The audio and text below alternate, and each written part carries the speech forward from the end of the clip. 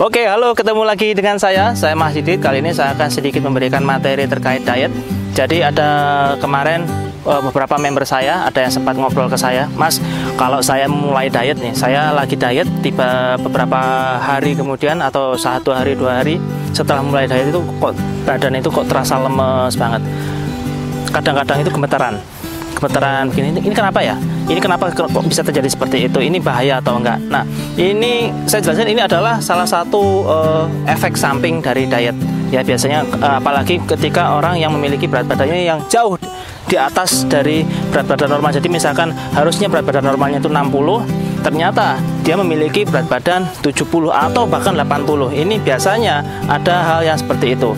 Yang sering terjadi ketika uh, tubuh kita itu gemeteran waktu diet kemudian atau terasa lemas itu umumnya terjadi karena hipoglikemia atau kadar gula darah yang sangat rendah. Yang drop ini adalah penyesuaian di tubuh kita ya. Jadi umumnya pada hari-hari biasanya kita itu mengkonsumsi kalori, mengkonsumsi uh, glukosa yang cukup tinggi. Tapi ketika diet kita akan uh, melakukan pembatasan, pembatasan konsumsi gula pembatasan konsumsi glukosa. Maka yang terjadi adalah seperti itu. Nah untuk awal-awal untuk teman-teman yang sedang awal melakukan diet seperti itu yang merasa uh, tubuhnya gemetaran maka sebaiknya jangan dikurangi secara total. Jadi jangan dihindari secara total.